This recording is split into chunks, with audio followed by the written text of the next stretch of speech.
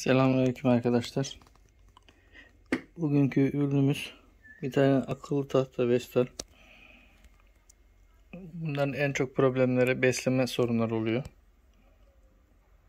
Ee, bu cihazda çalışmıyordu. Ee, standby ışığı hızlı hızlı kırmızı ışık yanıp sönüyordu. Fişini çektim 5 dakika bekledim. Tekrar taktım çalıştı. Ama tabi bu geçici olarak çalışma. Ee, kapasitörlerden yapıyor. Şuradaki osilatör katındaki 47-100 mikrofaradlık küçük kapasitörlerden yapıyor. Yani şu beslememiz minik besleme. Burası 24 voltluk büyük besleme. Bu kapasitörleri değiştireceğiz. Ee, hep beraber ee, devam edeceğiz. Evet arkadaşlar kapasitörleri değiştirdik. Şöyle göstereyim. Epey bir kapasitör değiştirdik. Şu gruptaki 3 5 tane Şurada iki tane. 3, 4, 5. Bunların hepsini değiştirdik.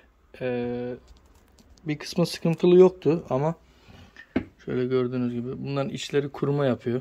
Yani belki ölçtüğünüz zaman normalde sağlam gösterebiliyor ama ısındığı zaman kapasitelerinde kaymalar, farklılıklar olabiliyor. İçindeki sıvı kuruma yapıyor zamanla bunlar çalıştığı için. Bir de akıllı tahtalar malum hiç fişten çekilmiyor elektrikten çekilmiyor.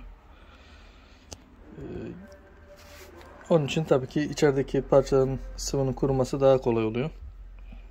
Videoyu izlediğiniz için teşekkürler. Bu video biraz kısa oldu ama bugünlük de bu kadar olsun. Hayırlı günler.